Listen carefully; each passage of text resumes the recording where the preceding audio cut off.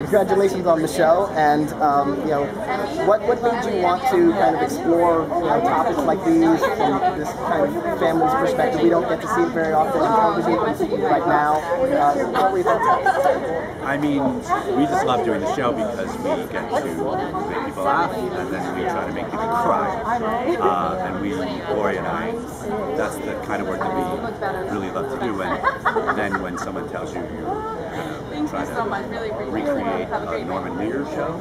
It gives you this great goal to shoot for. He did it first and better than anyone else. And so that's what we do every day is to try to basically measure up to his legacy and do shows that are touching people uh, and are relevant to their lives and showing kind of what people are going through. And it's it's exciting to keep you know trying to do a good job at it.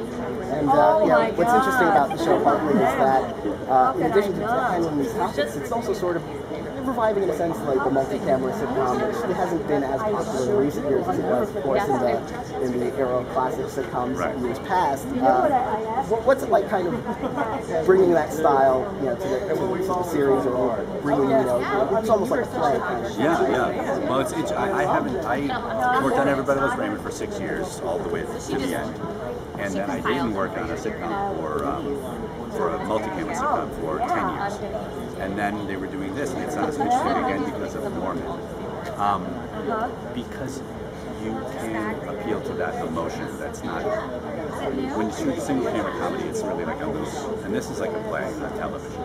And what you so you have the audience and the audience on stage is really feeling that show and the laughs are so joyous and then when it gets to the emotional parts you, you can feel the audience like gasp or we've had episodes where you know multiple members of the audience are crying and you feel like we're really touching those people and so to the multi-camera sitcom is really the best way to do that sort of the more most visceral way to get at people's feelings, I think, and that's been really exciting in terms of uh, making a comeback to do that kind of show again. Well, uh, thank you very much, and congratulations.